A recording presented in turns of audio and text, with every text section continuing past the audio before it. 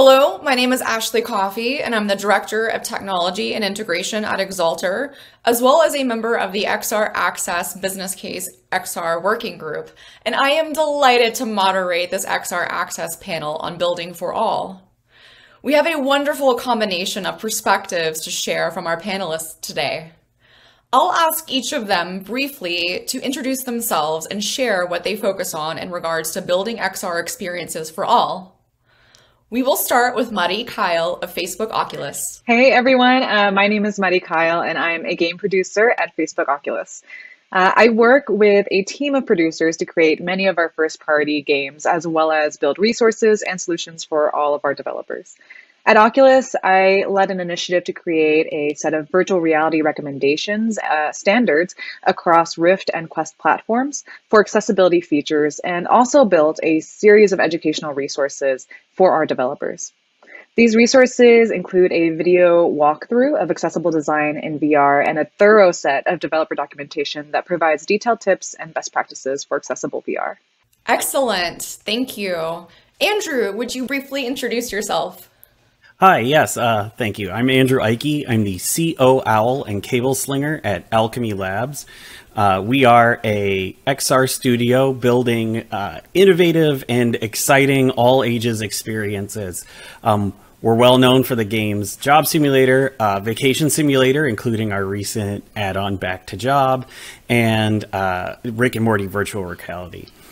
Um, one of the big things that we do is uh, our our kind of you know mission statement is VR for everyone or XR for everyone because we've now pushed forward and you know we believe that in kind of all aspects of XR for everyone. So you know this talk today is going to touch on I'm sure a lot of that and kind of our philosophies behind that and accessibility is a big part of that philosophy.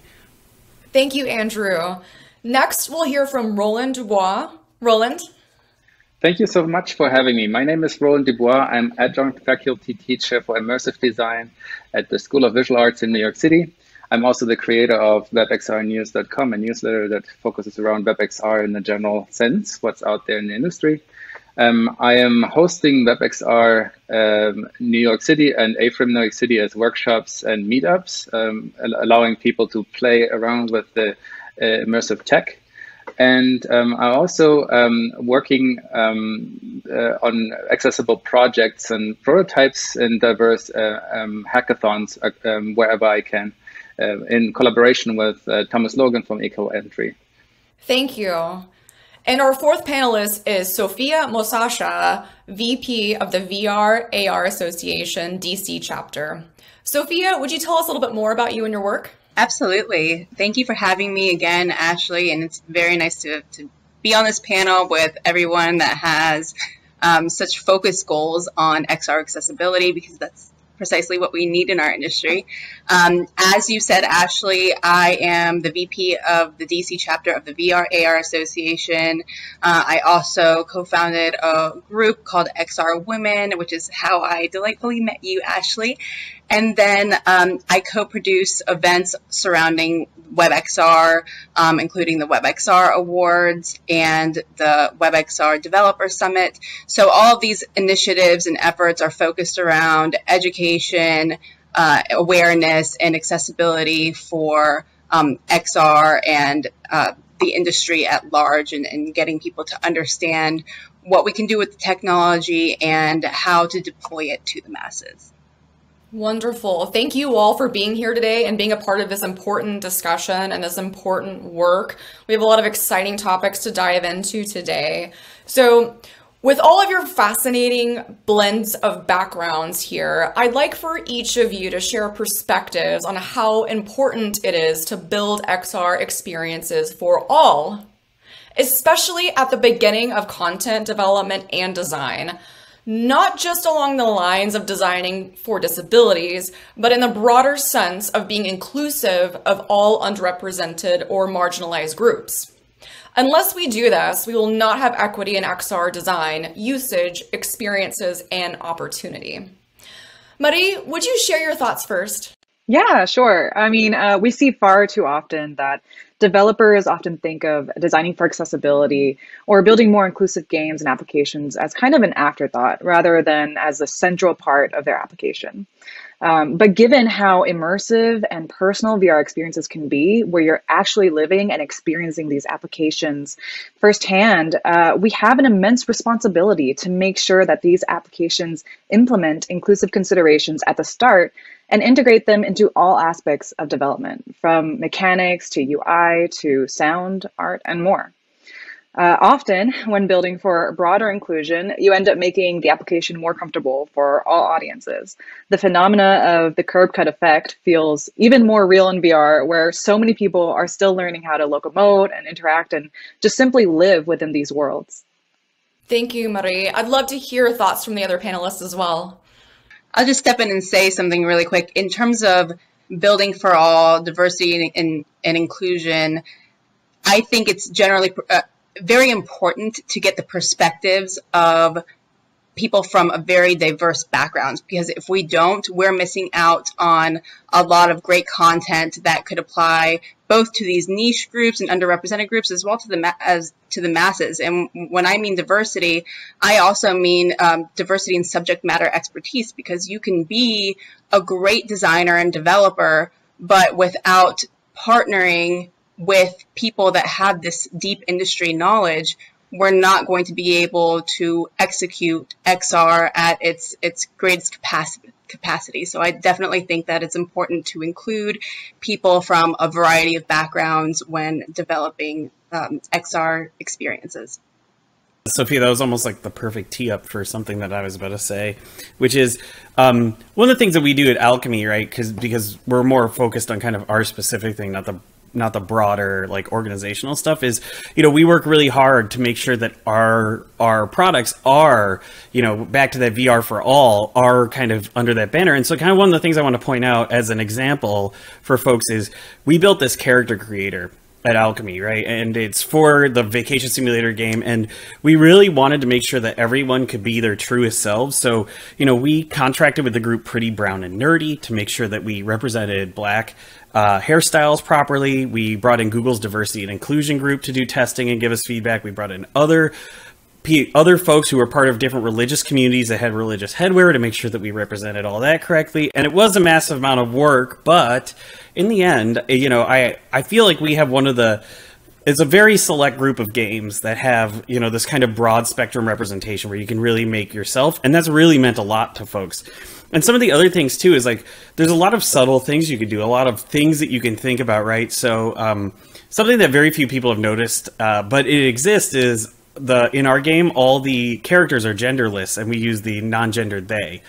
They're robots right? That's what we decided we did it we committed to it and we've never actually heard anyone say anything which is kind of cool right? Everybody just accepted that as as the base. And then all of that kind of knowledge carries into our work on accessibility. So you know it's really important that we brought these folks in at the very beginning and then had them reviewing our content throughout right? We were sending mock-ups of different hairstyles like fades out to pretty brown and nerdy and they were making comments and sending it back to us to make sure that you know even if you might not necessarily have the diverse set of of talent in your company, it's worth going out and hiring you know contract groups and bringing those folks in to make sure that that you can increase that diversity you have access to. I was going to say andrew i noticed whenever Owlchemy came out with that i I realized that you did put a lot of groundwork into that, and I attributed that back to 2019 XR Access when you were sitting at the table trying to understand how to pull these resources together and bring them to the forefront at Owlchemy Labs to actually implement in your design. So,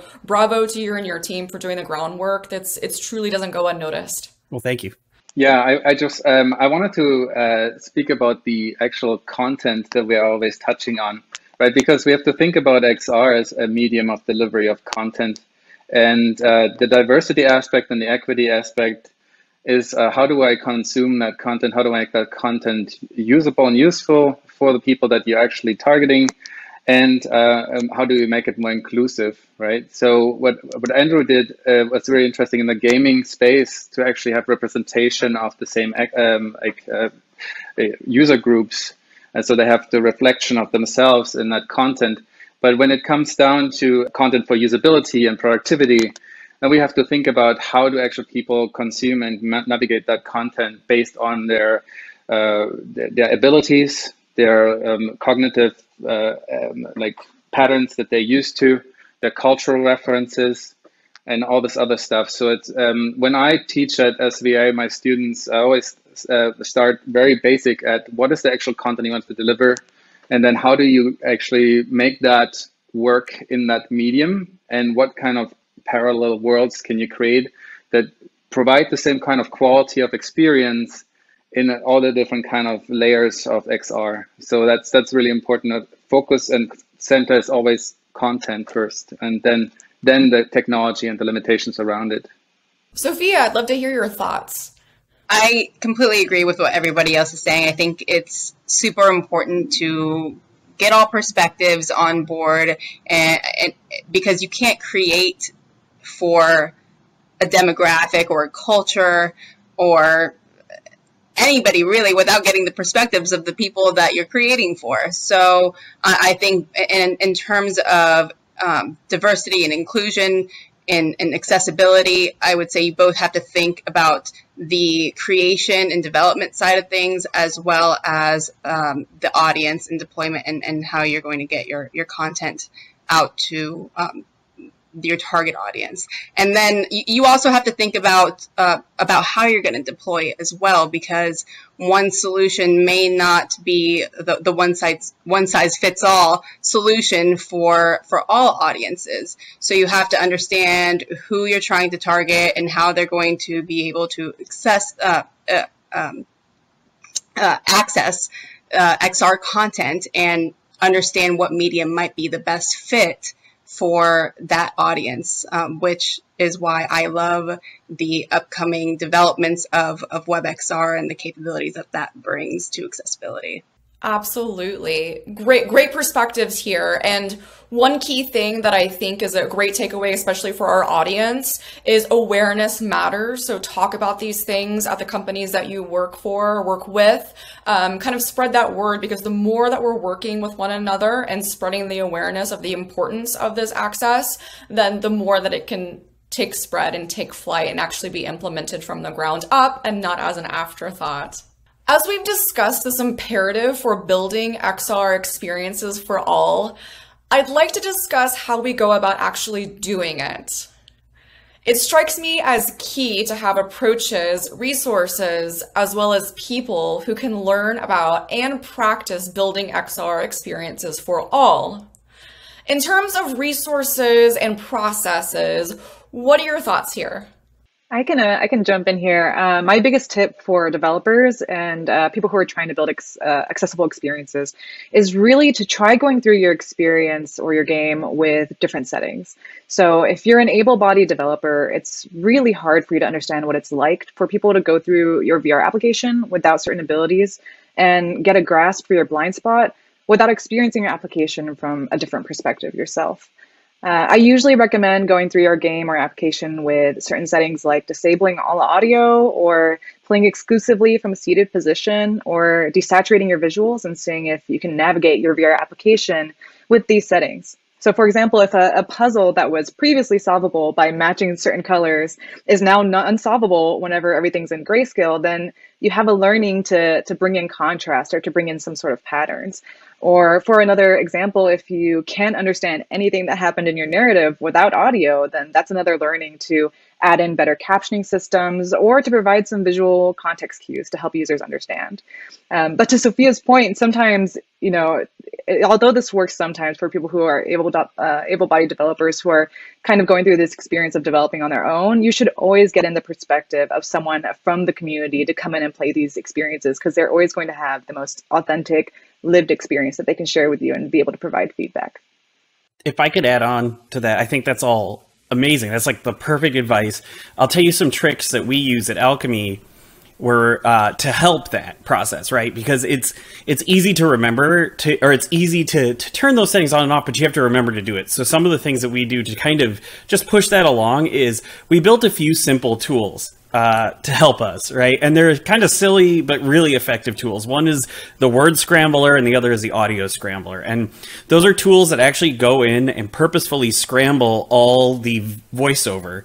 Uh, so, and then another tool that purposefully goes in and finds any instance of text and scrambles up the words. And the point of that testing is exactly what we've been talking about, right? It's make sure that you know the that that you can play the game, right? And we do all that till we run out of we run out of you know kind of headroom when we've stopped finding things and then we bring in folks from the community. But i want to say you can also build tools to make it easy for your developers. And if you integrate that into your testing process where you're like as one of the tests you must do you must turn on the word scrambler and pass it and that's part of your definition of done then um, you're going to be designing things more accessible out the gate and probably more universally accessible because you're going to have to learn how not to rely on those features so in terms of tools and resources, uh, first of all, XR Woman, we meet every Wednesday in iLearn's Virbela campus. So we have a whole slew of perspectives from the women community in, uh, in immersive technology. So uh, that's a good resource there in itself.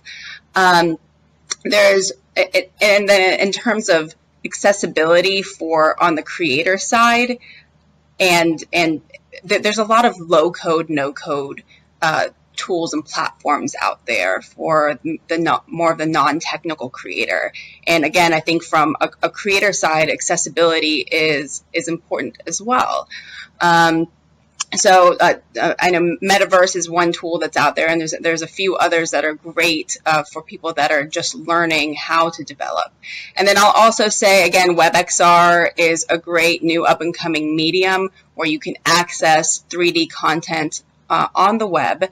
And so check out what the W3C is doing with the Immersive Web Working Group and the WebXR device API that they are coming out with soon. So those are some resources to check out. Um, I can talk a little bit more about the WebXR space, um, but I just wanted to uh, point out that uh, very, it's very uh, important uh, what Andrew said about uh, building accessibility testing into the QI at QA pipeline uh, internationalization for, for, for text is nothing else than scrambling words. I think there is not too much of a leap in order to bring in accessibility and actually the, the, uh, the those tests into already established pipelines when you create uh, international software. Um, for I, um, when, when, my workshops are in A-Frame, uh, which is a uh, framework that's built on top of Three.js, a JavaScript library that uses the WebXR API. Um, my students, uh, they're not tech uh, students uh, at SVA. They're mostly artists, mostly creatives. Some have JavaScript uh, knowledge, not many. Um, um, some some people use Unity in order to build VR right away from the get go. I always uh, uh, stay away from that. I want to have people think about it in a, a content structure way like we are used to in the in the World Wide Web. Uh, there's so much uh, that the W3C has done uh, towards web accessibility guidelines, WCAG 2.0, 2.1, AA, AAA certifications.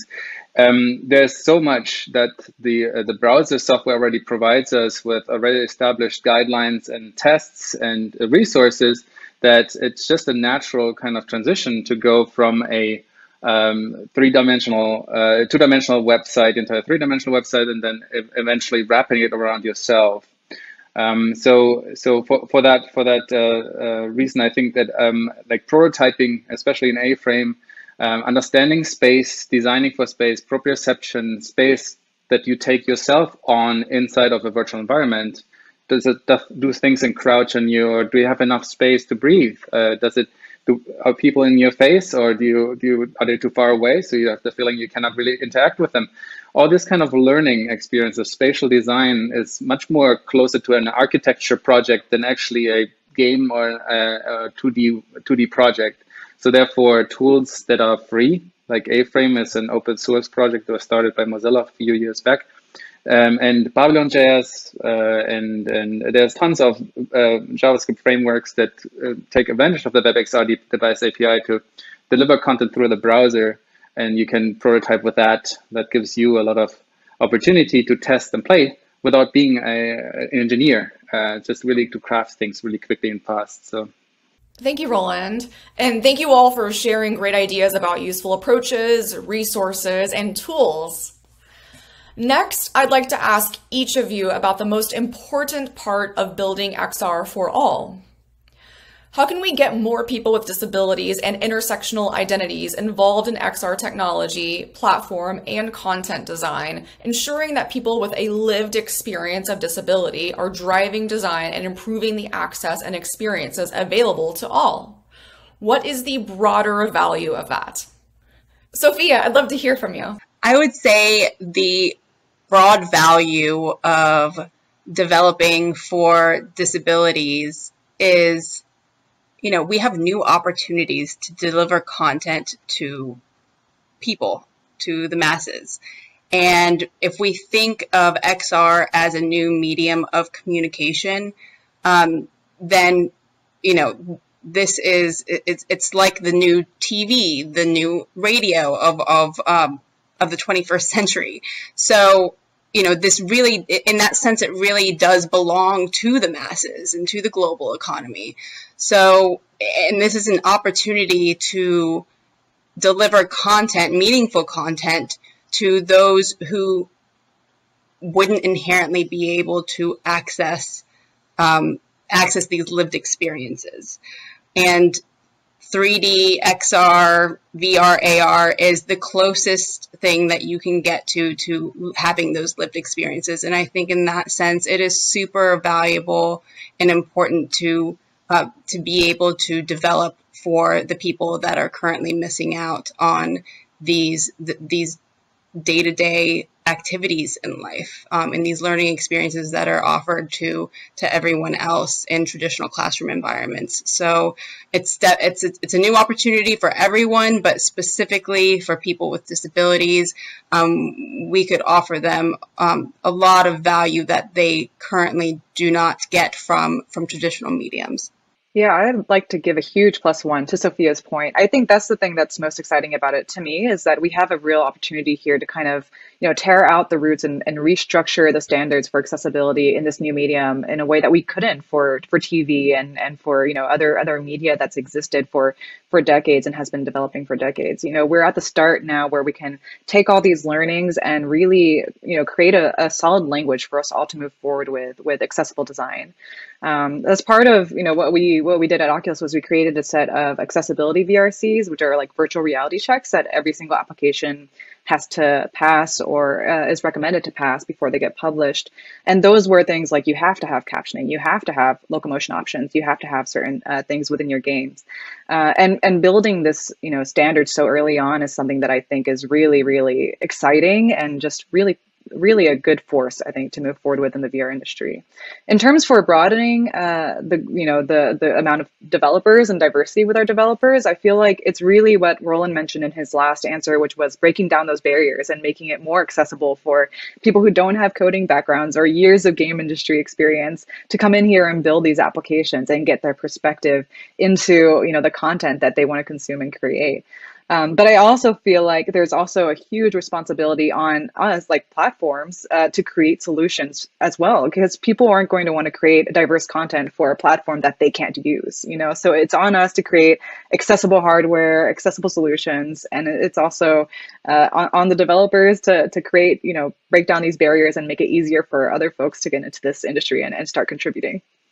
To to kind of even push that a little bit further, right? To talk to some of the developers that are existing, right? Because there's there's you know there's definitely a lot of these barriers being broken down. You can look at things like Rec Room and you know um, Dreams as examples of platforms that exist that have literally no coding experience. But I think some of the things that our developers that are already doing the work have to do is um, go out and find these people, right? You have to not be afraid to play test your games, and you have to not be afraid to play test your games with an incredibly diverse set of people. Uh, it and you have to do it early, right? At Owlchemy, we start playtesting our games incredibly early. We, we get the smallest chunk of it we can get playtestable, and we work from there, and then we continually do it throughout. And we do it with incredibly diverse playtesters, and we've even figured out how to do it during the pandemic. You can do this, right? This is possible. there are things like NDAs; they work right? You don't have to have things leak out. You need to find your target population, whether even if you're doing client work, right? Go to your client, figure out what their target population is, get them to start doing play tests. Um, so yeah, and then as uh, Mari said, I love the VRCs, right? And I think our one thing at Owlchemy, if I can push something here, is like make them required. They're only optional right now. We want to be required. It's actually a rule. So at uh, Facebook Reality Labs, we have this guideline that's never surprise users, and we consider developers to be a part of that. So if we just suddenly launched, you know, these nine VRCs that everybody had to develop these features in like a day and they had to be required it was it would be a mess and we would get a ton of developer pushback so we decided to use them as a runway so we're making uh, we're making them required for you know for now and then listening to the, the community, seeing which ones um, you know people are having difficulty with, building resources around those ones. So we built those developer documentation, the video tutorials, and then kind of getting that feedback to understand you know what things can we as Oculus develop on our side. So like captioning solutions is something that Oculus can take on. You know other things are things that Oculus can take on to take that load off of developers. And then what things can we create education so developers can learn to use this before we just kind of ban hammer, you know, make it required for them. Uh, otherwise, they don't get to ship. Um, so we're really trying to be conscientious of uh, how developers are growing with us and how we can kind of take the load off of developers while also creating some sort of consistency for our users as well who are going to be needing these accessibility features. So I totally hear you. I am trying to get them required. Just it'll take some time to listen to the community and get an idea for what they what you know what's needed and what's not. and and and I, I don't mean to put you on the spot. I actually think this is a fantastic answer. And even as a developer, I'm really excited to hear about all of those things that you just talked about. So that's awesome. Yeah, there are some solutions coming, so it'll it'll hopefully be a lot easier. I, I, need to point out that Andrew with his work has been head spearing the entire space. So, so it's a uh, really exciting uh, what, what I've seen uh, him publish. And um, I I wanted to talk about the, the, the, the, engineers and the developers that are building VR experiences. The, the, the, the problem that I'm seeing, the reason why um, it, it's a little uh, slow in adaptation is exposure uh, a lot of um, academies that train engineers and developers, they don't spend enough time on accessibility. They just uh, focus on the ever-changing landscape of frameworks. Uh, when you think about web development, the JavaScript frameworks, uh, it, it's like a moving target. So you don't you you basically uh, are hustling to get uh, um, into one of those ecosystems, and then you're uh, blocked um, uh, from from actually learning the basics about accessibility and ADA compliance.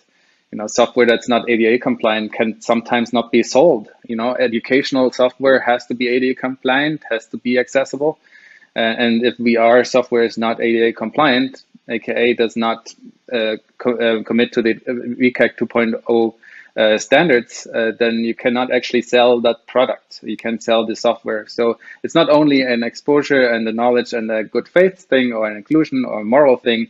It's also uh, to a large degree a legal thing to actually build this stuff into your software in order to make sure you cater to everyone. Absolutely. I know we could talk hours about this. I, for one, could spend days talking about this. Um, we'll have to continue our critical conversations in our work streams. But Andrew, Mari, Roland, Sophia, thank you so much for taking the time to be a part of this discussion and to share your valuable perspectives. Um, I'm, I'm thrilled that all of you are a part of this conversation. And um, thank you all for this fantastic panel. Thank you. Thanks so much, Ashley. Thank you so much. Thank you.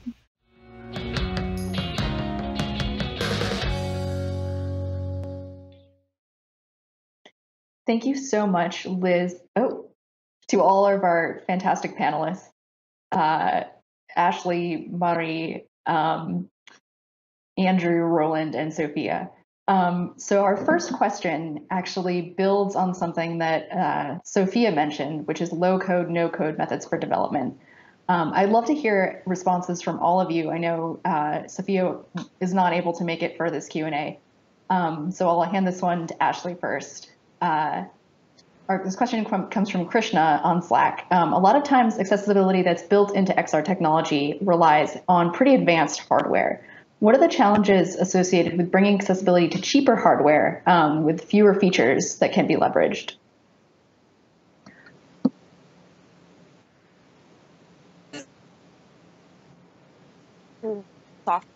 Hardware and where we are uh, in a technological society. I do think there are a lot of challenges that could be approached to help fix that in the long run. But with the low code, no code options that are available, and I know Roland can and really talk more about this, but with um, A-Frame and WebXR, there's a lot of opportunities for individuals to get involved in those development processes from the ground level. And I think that opens up opportunity for, for more insight into that development. I know that's not a very in-depth answer, but I do feel like Roland might have a little bit of a, a better color for that.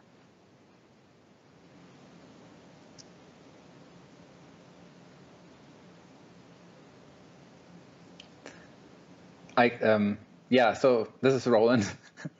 Thanks for leading me um, in into this discussion here. Um, so, like no code, low code environments, we we've seen so much development in the web space. Um, if you think about like in the very beginning, the uh, the, the, the software that's being used to create websites from Dreamweaver up to now, like these um, these platforms like WordPress, right?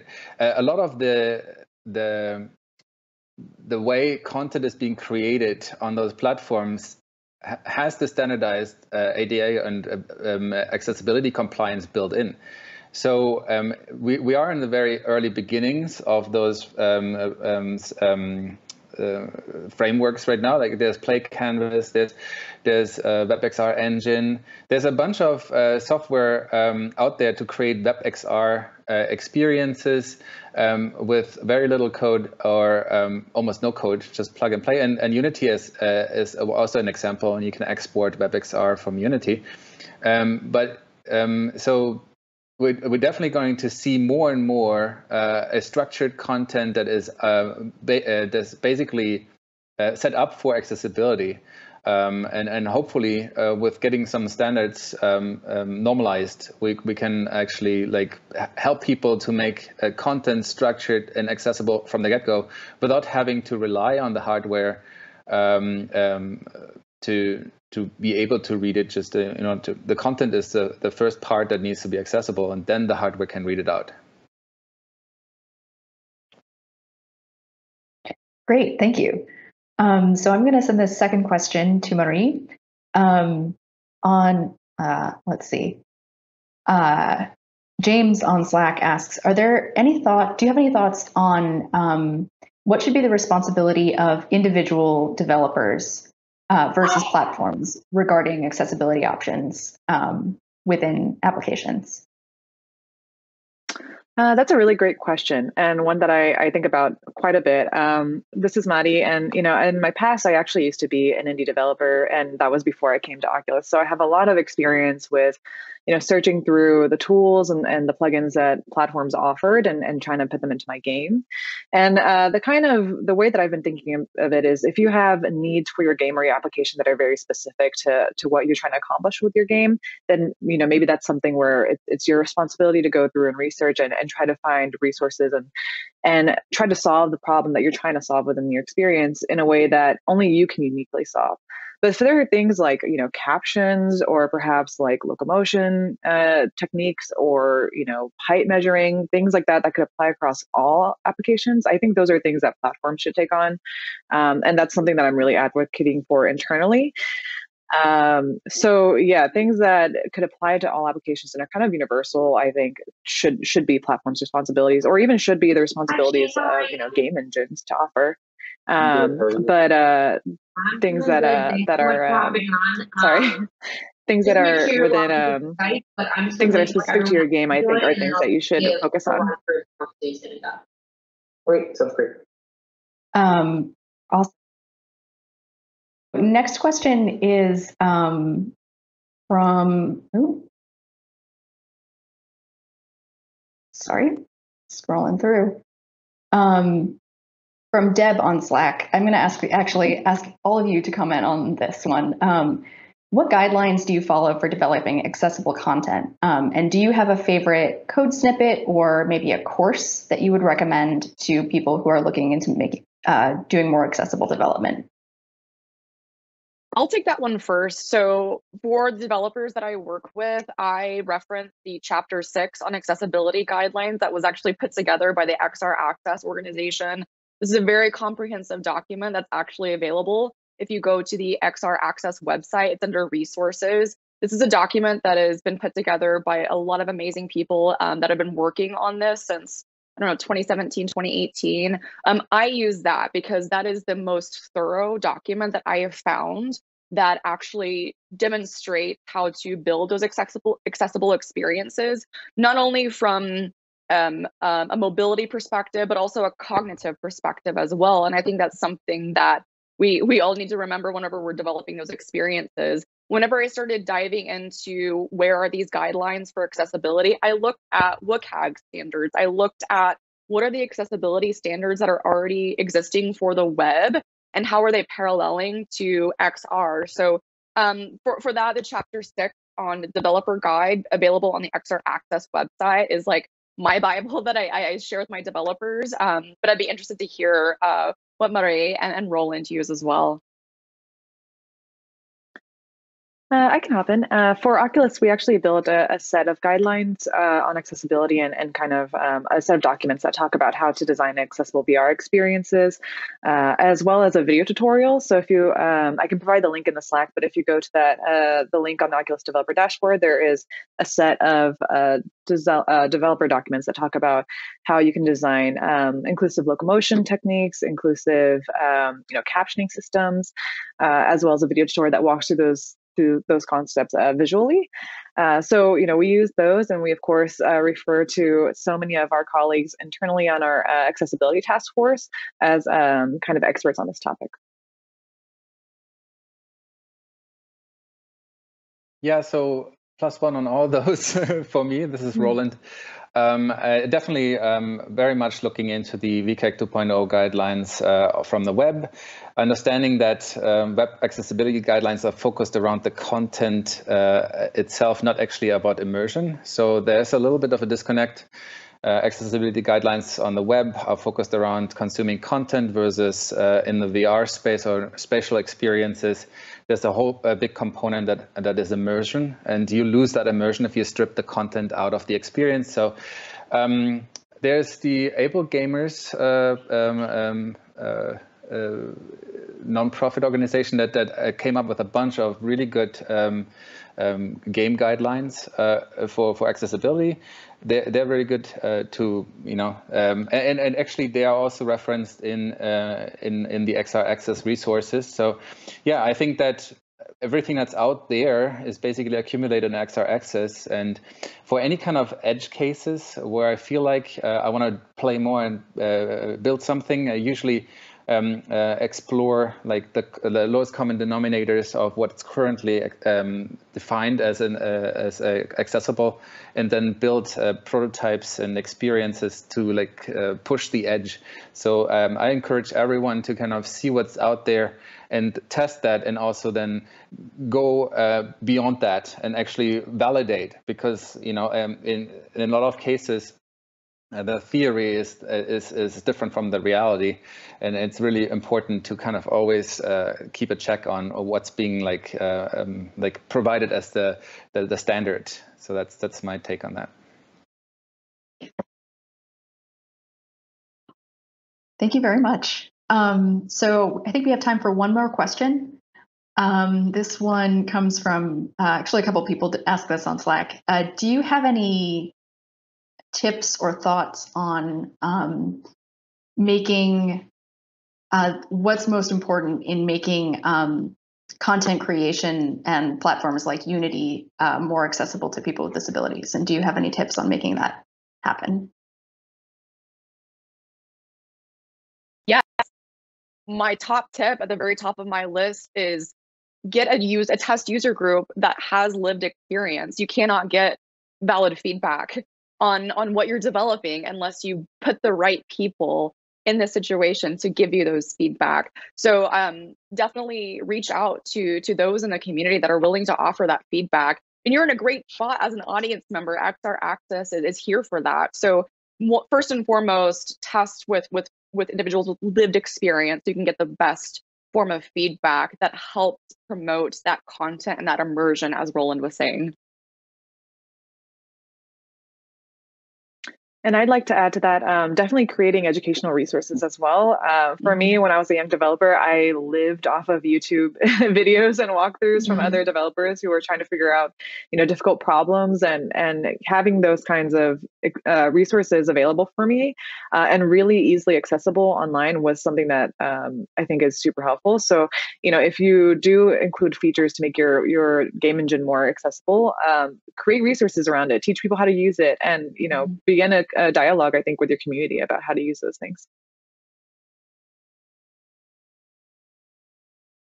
Yeah, um, this is Roland. Uh, so one of the big parts of the WebXR space and everything that's uh, surrounding the platforms of the WebXR device API, uh, everything is living on GitHub. Everything is open source. There's tons of uh, projects and experiments out there, and there's a lot of um, uh, like uh, projects that people can um, contribute to and and build in accessibility um, features and this is a like um, this is a open source uh, kind of uh, shared experience. Um, Unity itself has also plugins, and and everything mm-hmm. at the moment that is focused mostly on accessibility are plugins, uh, and they're not really built into the systems quite yet. But I think that the best way to to approach this is to see what's out there, test with people uh, that have uh, actually those disabilities and uh, needs you know? Not only mm-hmm. try to uh, do the color filters uh, and um, um, see if if uh, um, if you can still walk through the experience. Obviously this is important. You need to validate for yourself if you understand the content based on those filters or like muting or whatever. But the, the, you have to understand that you as an able-bodied person you cannot really uh, simulate uh, how a person with a certain disability can can uh, um, interact with the software because the senses that are missing in that person are um, like are the, the, other senses are picking up over 150 200 percent of the capabilities and make up for that kind of missing part.